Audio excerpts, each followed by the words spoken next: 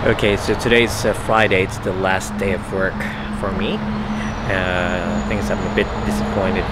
Sorry about that. I'm really disappointed because I was told to come to work today, and uh, yeah, the sad thing is that uh, yeah, I was I would love to work from home and then drop the laptop maybe next week. So I don't know. Uh,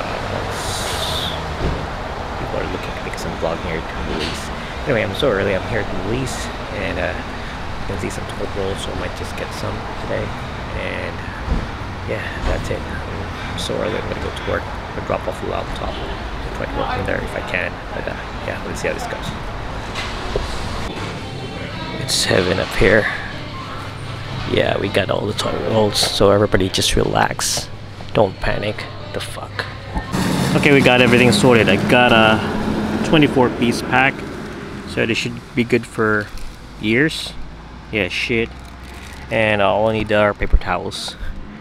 Okay, gotta go. Okay, done with woolies. Got myself sorted for a year. Two rolls of it. anyway, I'm heading to uh, work right now, and uh, yeah, let's see. I forgot my cap. Damn it.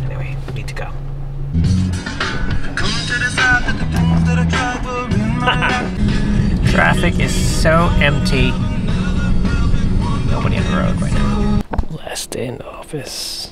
There's nobody here. Nobody.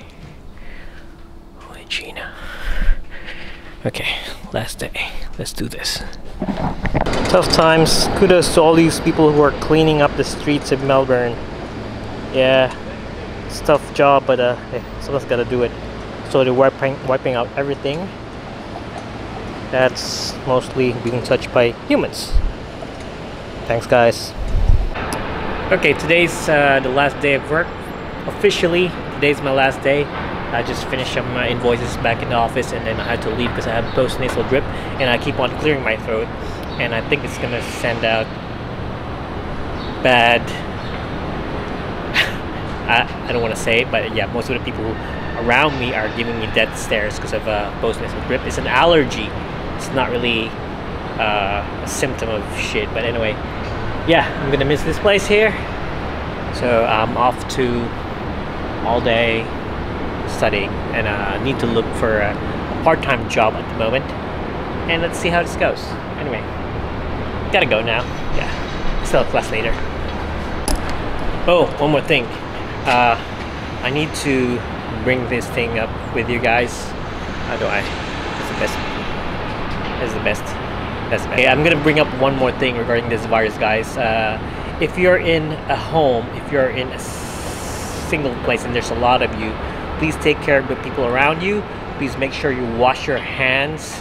Uh, you sanitize yourself. Don't bring your clothes if you go out. Don't bring your clothes.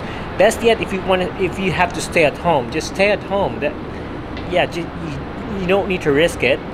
The thing is, if you mess up, if others mess up, like a lot of lives are gonna depend on it. Like I'm, I'm in the city right now. I don't want to be here, and if I mess up, I'm gonna I'm gonna infect the people I love, people I know. So just guys, be safe.